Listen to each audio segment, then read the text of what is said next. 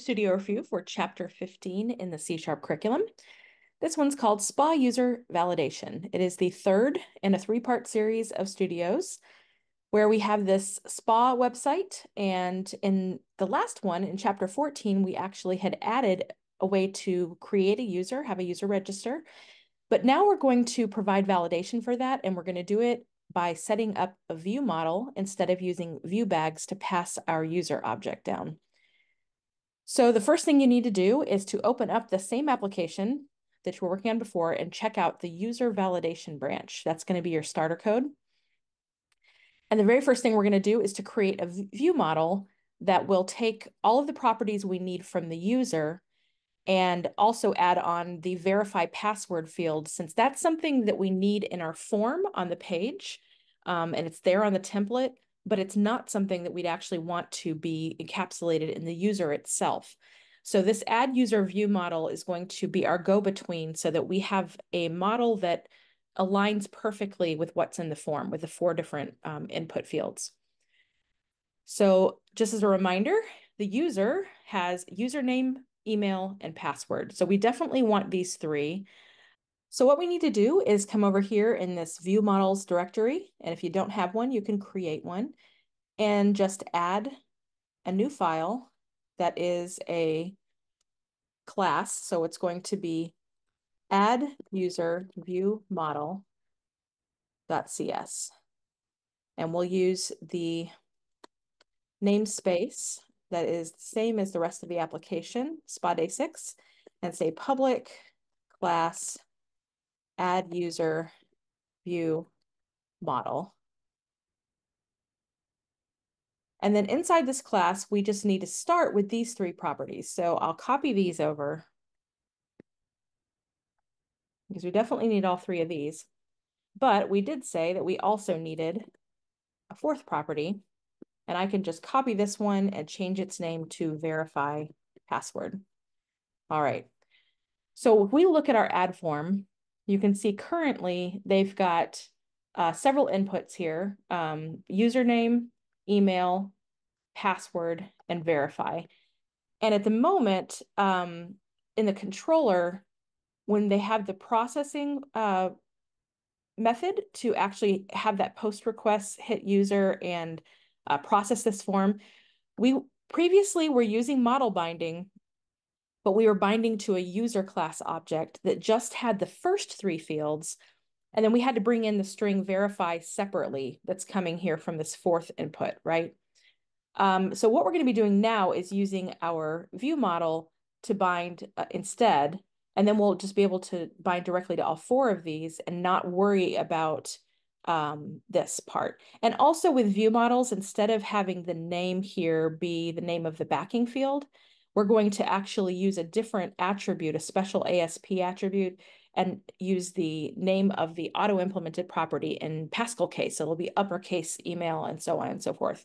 And we're not going to be passing these things down through a view bag anymore. So we have a, a, a quite a bit of refactoring to do here. Um, the, we, did, we got this set up. So it's time to see uh, what we want to do next here. It tells us that the first thing to do is to add the validation attributes that will assign rules for whether or not our conditions have been satisfied by the user as they're filling out the form.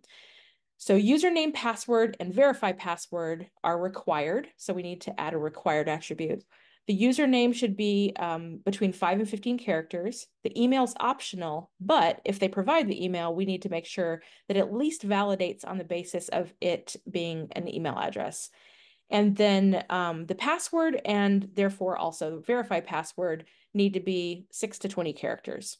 So we can go ahead and add all of these. I'm going to put a little bit of space between these. It'll be easier to read them as we start adding all of these annotations. So the very first one we want to do here is required.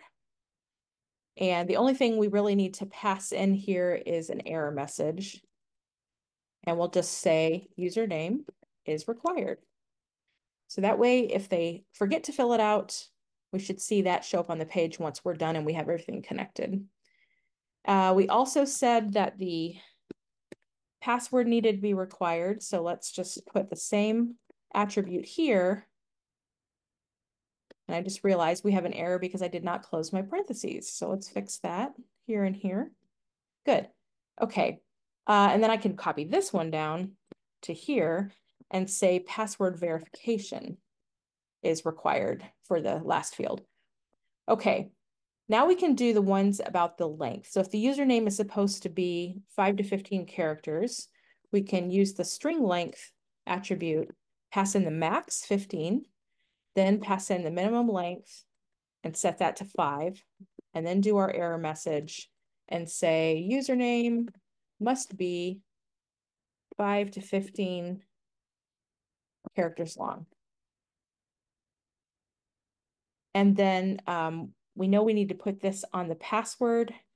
So we could change this to 20 and a minimum of six. And then here, say uh, password, and I have another typo. Let me fix this. Must be six to 20 characters long. And then um, we can essentially put the same thing here. Okay, so uh, the last thing here is to say email address, and that one can kind of stand on its own. We're not going to pass any sort of specific rules in, so we'll just let it do kind of a minimal validation of the format of an email address. So uh, that will work for now, and we now have a little bit of validation on every single one of our fields. And because we're going to be binding to this instead of the model, that's why we are putting these rules here. This is what it's going to be checking. But you also may recall that just because we added these rules in the view model does not mean that validation will take place. We have to provide for that in the controller. So our next step is to go over to the user controller and we're going to do a number of things. Um, enabling, just to stay on the same wavelength, enabling validation is going to be down here where we use model state.isValid. But before we do that, they would like us to also make sure we pass an instance of add user view model to the add form with the add action method, because this will make sure that it already knows about the format of this, that it knows what the structure is, what the names of all these are, when it loads the form the very first time. So right here where we have our iAction result add, we can definitely add a route here. And I, I could really just make this HTTP get and then say slash user slash add, just to be very explicit that that's what this is for.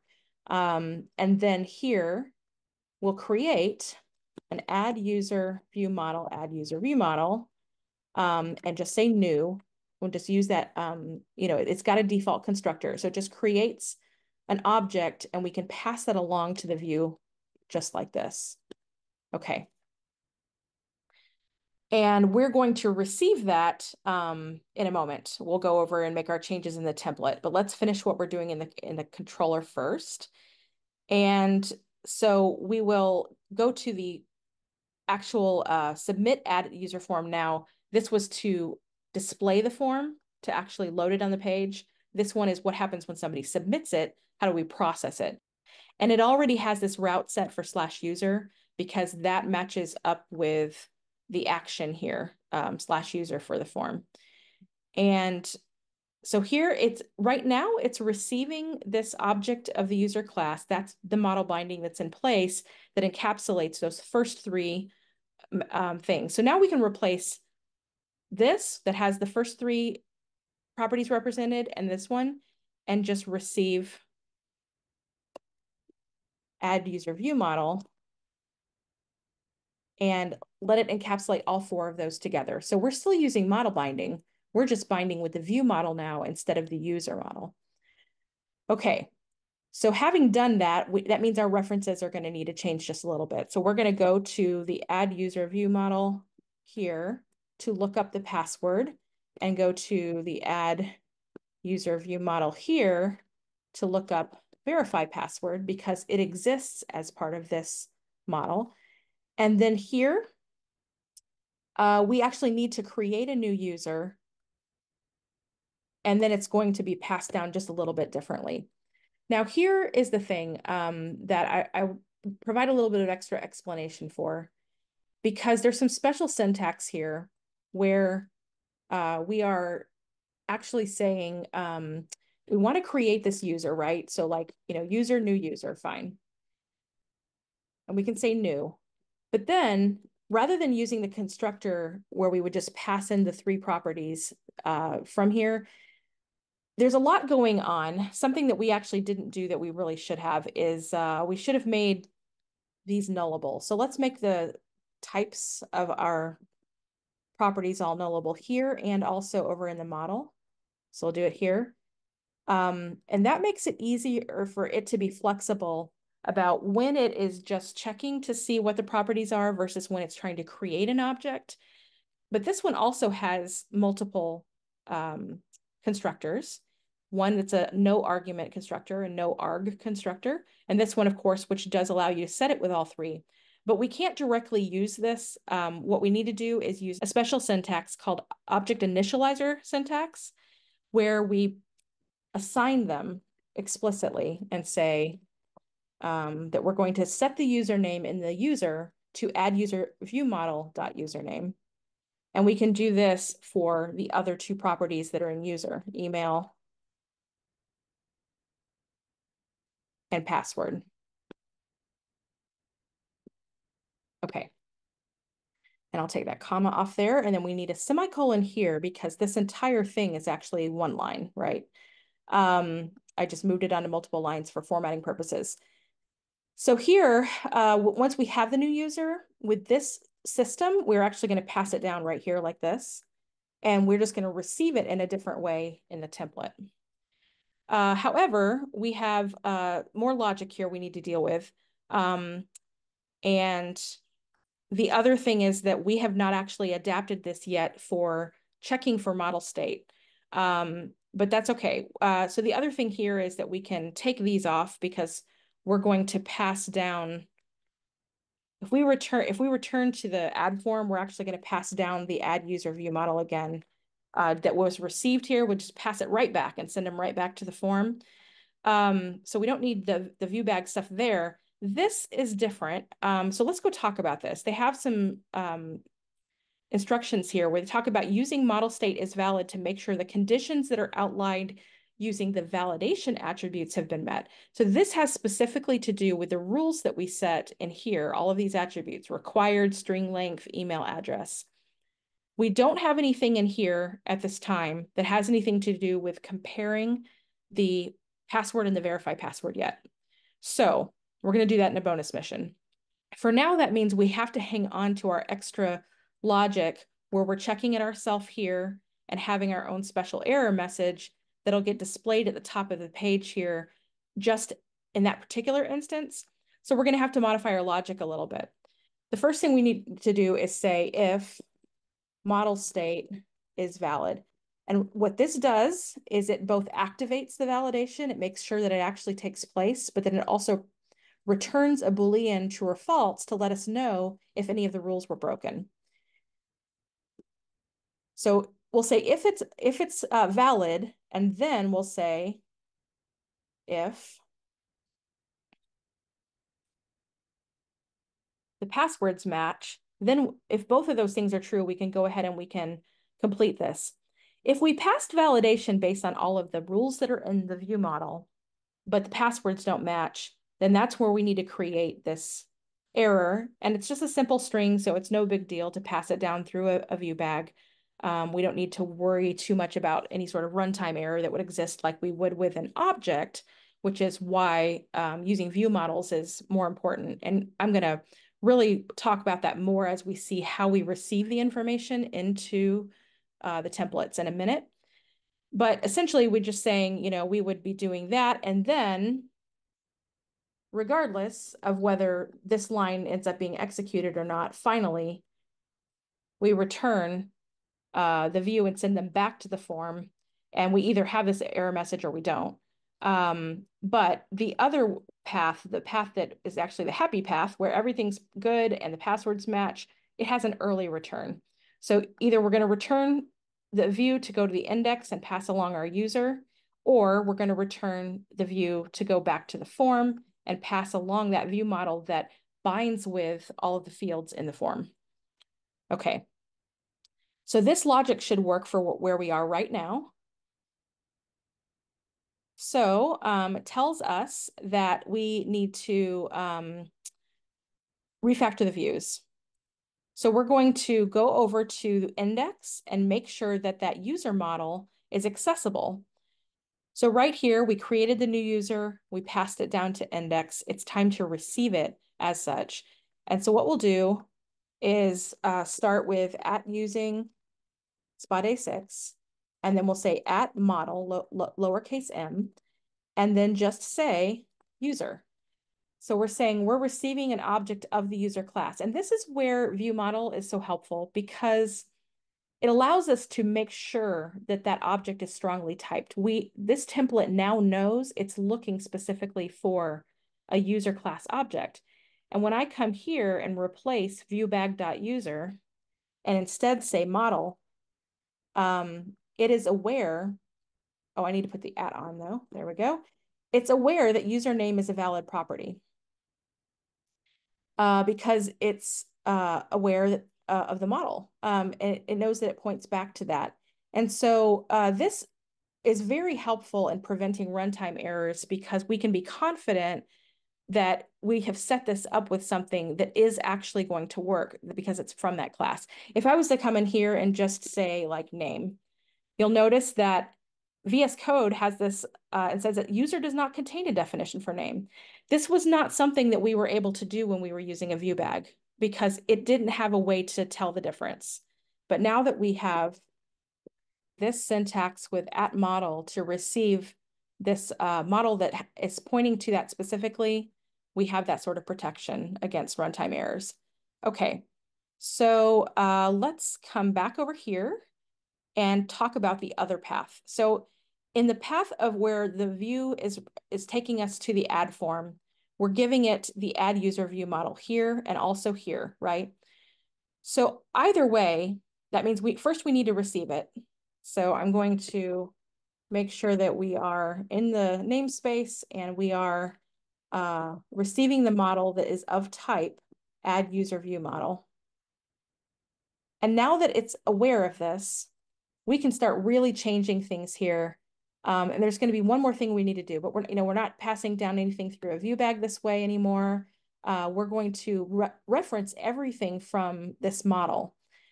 So let's uh, see. They tell us here that there's specific formatting that they want us to use. That, and by putting everything in a div, it's going to eliminate the need for us to have all of these line breaks everywhere because that's a uh, bootstrap class that will actually format it very nicely. So I'm just going to copy this and we're going to replace our username. And we no longer have to have this if else type thing where maybe we're receiving the username back because that we're sending them back to the form after submission, or maybe they're going to the form for the first time. Uh, now that we have this and we have sent it in in both of these methods, it doesn't matter. We can just do one thing and not have to have that logic. So I can replace this entire thing right here and put our new format in. I'm going to uh, fix this a little bit. Okay. The other thing is we were using name before, right? Type and name. Now we have asp-for, which allows us to give the auto-implemented property name so capital U username, and then I can just copy that everywhere here. The input and the label both uh, are marking this. And so now in the input, we no longer have to say name because this is taking care of it for us. And then here in the span, this ASP validation for basically um, says, okay, for the input that has this name for that field, I'm going to look up the validation rules that are in the add user view model for this particular field. And if one of them is broken, then I will display the error message using this span. Otherwise, I won't display anything at all. So it has that logic built in. It's not like this where we had to explicitly pass down our own error and then use the if here to decide whether to display it or not. That's all built in right here. It's very nice. So now we can do this again for the other three. So I will do one for email.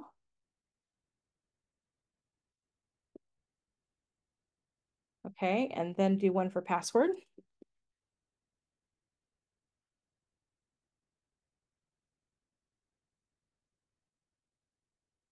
Let me just copy that. Okay. And then, of course, um, verify password.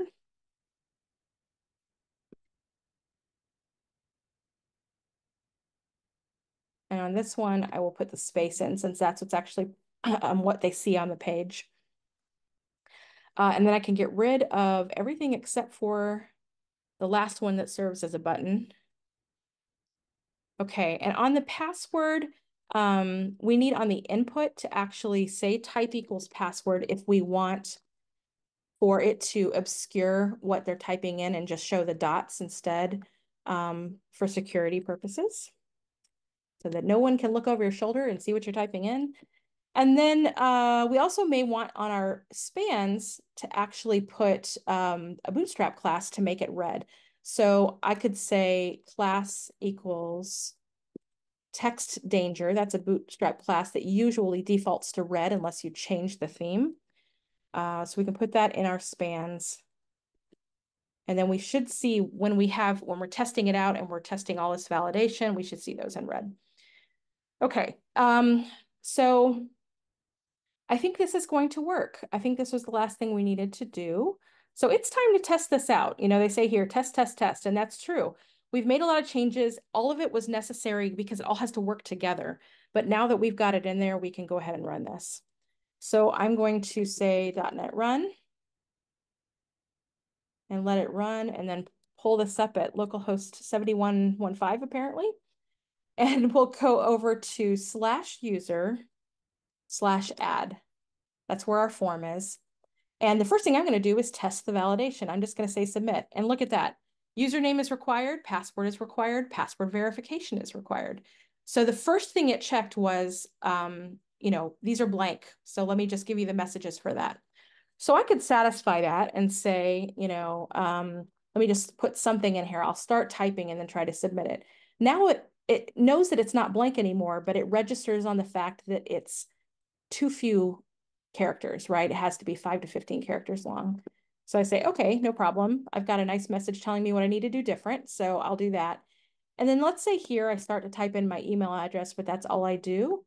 Um, now it's going to actually just use the browser validation to say I have to have that at symbol in there. It knows that's not an email address. So I'll say, okay, c at j.com. How's that? and then I'm good on those two when I try to submit again, but I still need to do these. So let me try um, doing a password that's too short. And it says they it must be uh, six to 20 characters long. So now I'll fix that. And the last thing to test here is what happens if they're not the same. Okay, then I get this message up here, passwords do not match, try again. So that was my special message that was separate, that depends on passing down that error message because of the logic we had, because we were the ones comparing the password against verify password to decide if that was an, an additional thing that might be wrong, and then providing that message to be passed down. So if you got this far, you completed the assignment. Congratulations. Um, of course, we should probably also make sure that it does go through. So let's just do that last check here. I'll put in passwords that are the same. Yeah, okay, so then it takes us to the index page slash user and says, welcome to our spa, C Jones. So it definitely got this user and was able to access, you know, model.username there. Um, no problem. Okay. So what they want us to do for the bonus mission is to fix uh, this whole thing of having to do this logic separately ourselves and make it possible to let our view model do it for us. There is an attribute called compare that allows us to um, compare one property with another and have a message just for that. And then we can let our um, logic here, model state dot is valid, take care of it for us, and we don't have to have any of this. So we need to do a number of things here. We need to remove this because we're not going to need it anymore. And then um, we need to remove this. Again, we're not going to need it. Um, we can actually remove this, this whole if statement here since model state dot is valid is going to take care of it for us. So I'll just clean this up a little bit here. But then, of course, we have to have the rules in order for that to take place. So we go over to our view model and say we need to add one more rule. I'm actually going to put it on the last one. So I'm going to add it here and I'm going to say compare and then pass in a string of the name of the field that I want to compare against, which is password. And then error message, I'm going to say passwords must match. Okay. And that should take care of it. So let me spin this up again. Okay. And we'll come over here and go back to our form. And we'll try this again. So I'll make sure that these are valid. I'll just skip the email since it's not required. But then I'll do something here where these are, you know, not the same. There we go. And we see our message now looks just like all the other ones where it's right here next to the field. Uh, it didn't require any special logic because it was handled as one of the many rules we applied. And that's all there is to it. So I hope this has been helpful in, uh, you know, getting you more comfortable with working with view models and understanding um, why it they are actually better for things like this, where you have objects that have specific properties and you want to make sure that they're very strongly typed so that there are not going to be any runtime errors because something was passed in that wasn't the right type and the template didn't know about it if you're just using a view bag. But if you're doing it like this, it will know um, because it's going to require it to check it at compile time and it won't even let you compile the code unless it all checks out. All right, I will see you next time.